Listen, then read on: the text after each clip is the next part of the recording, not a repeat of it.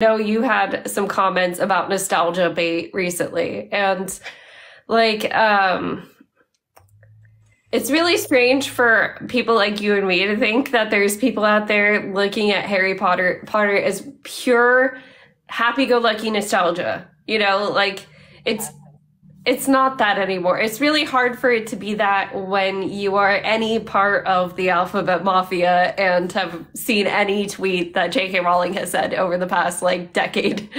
Um, I looked at her Twitter to try to find a screen cap of that one tweet where she was being like, I'm never going to forgive Emma Watson and Daniel Radcliffe.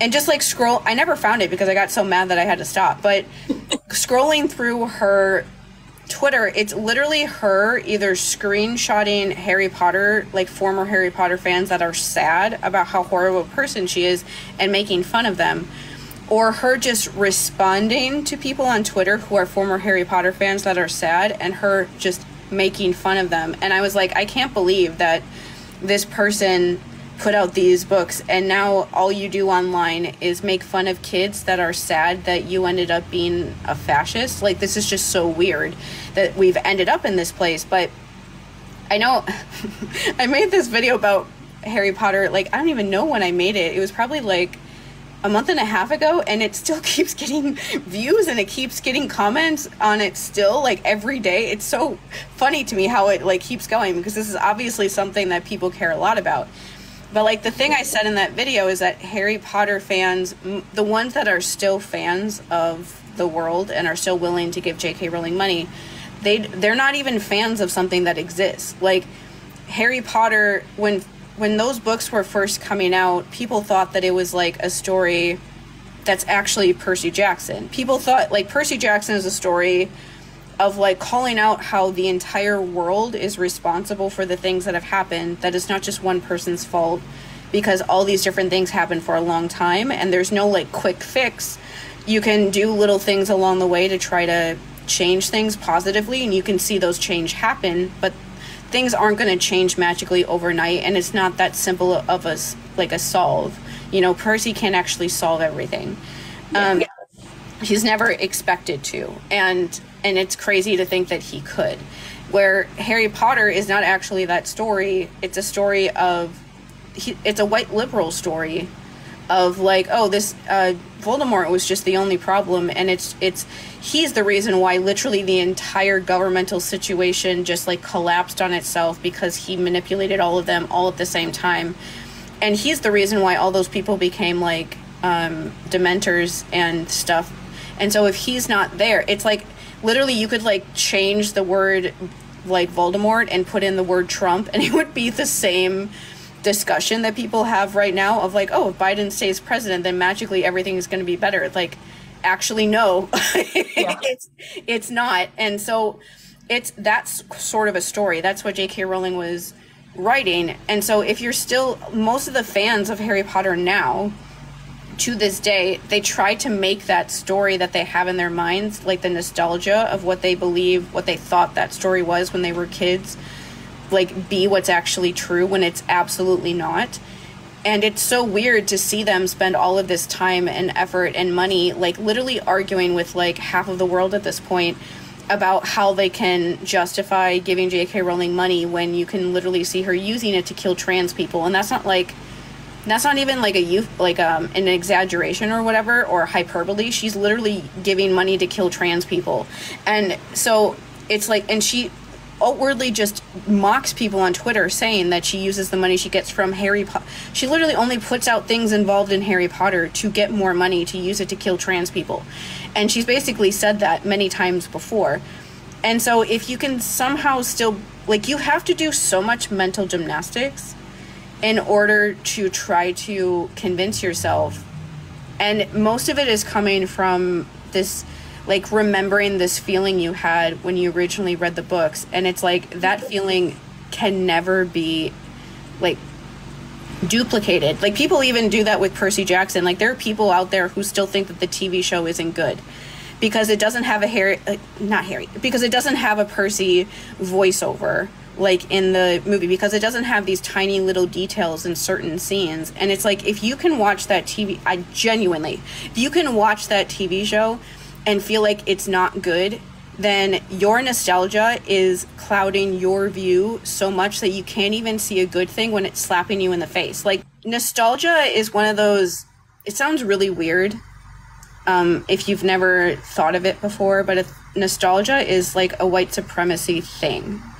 Like, a lot of, um, the, the way, the kind of entry point for a lot of kind of fascisty people to get people to like think about that are those like hey remember when sort of videos remember in the 90s when we all drank surge for some reason and it was 85 cents and like remember like our this like video or remember how it used to be like it's very easy when you think about it that way to imagine how people being like hey remember in the good old days and then knowing that that like pushes somebody eventually into believe in believing like fascist ideas of the good old days were better because all of the non-white people didn't have a voice.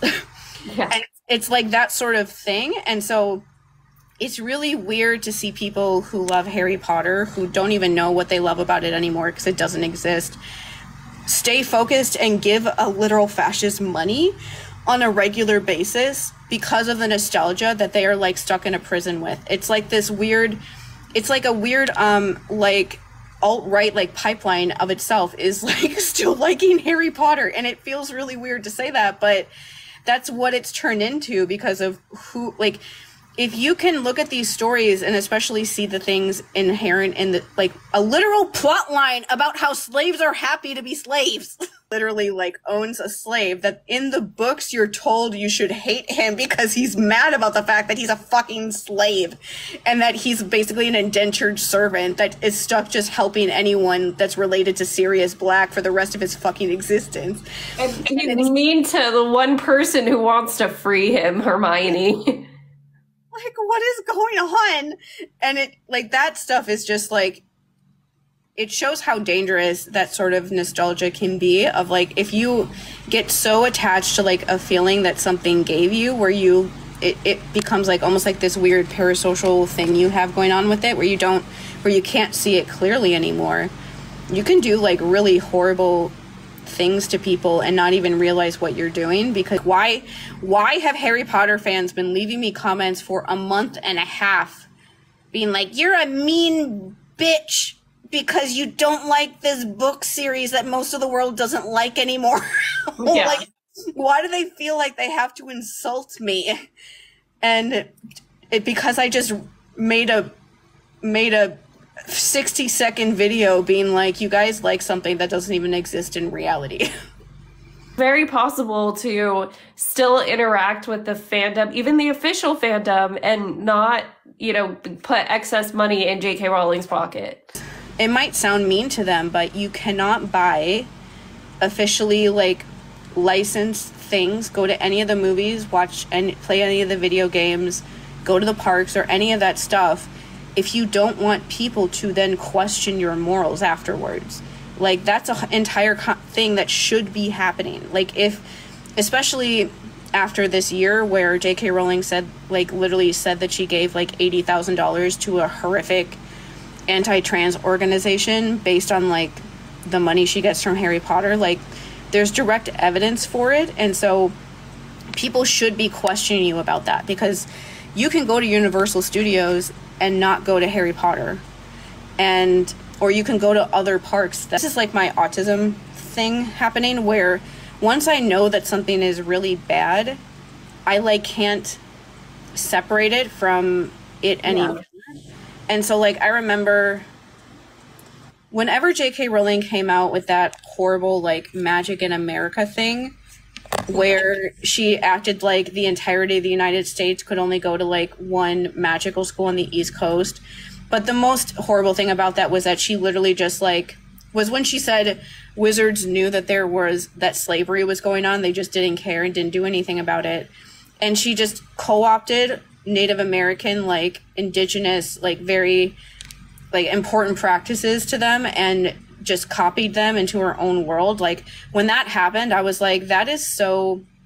That was a long time ago, but I still was like that. I can't do this anymore.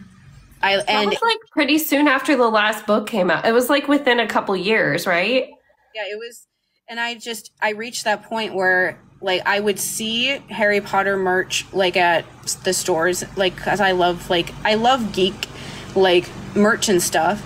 And so I would they're always still at the stores even to now. And but I would see it then and it's like the switch just went off in my head where even though I looked at it and I remembered what I loved about it, at one point I had absolutely no drive whatsoever to ever buy it ever again. And looking at it actually made me really sad. And like looking at the books at, at like bookstores made me depressed. And like even though I went to Universal Studios back in 2010 and went to Harry Potter Land before most of it, all the other parts were built, and I remember going there and enjoying what I saw and be and having fun on the rides I went on. I also can't imagine going back. And it was like not even hard for, it wasn't hard for me to do that because my autism brain just like switched and whenever I looked at Harry Potter stuff, all I could see is like JK Rowling killing people and doing things that were actively harming people and I just couldn't separate it anymore from my head. And I don't know how people who aren't autistic think about stuff like that. But at least for us, that's kind of what can happen is like if our empathy is like hit to a certain point, then it's like there's no changing my mind, there's no going back, and I can't justify this anymore, no matter how hard I try. And so I think that sometimes when people get questions like that of like how can you how can you buy Harry Potter official stuff still? we we mm-hmm. genuinely don't understand why because that's just how it works for us is like once we go over a certain point i can't come back anymore no matter how much i want to do it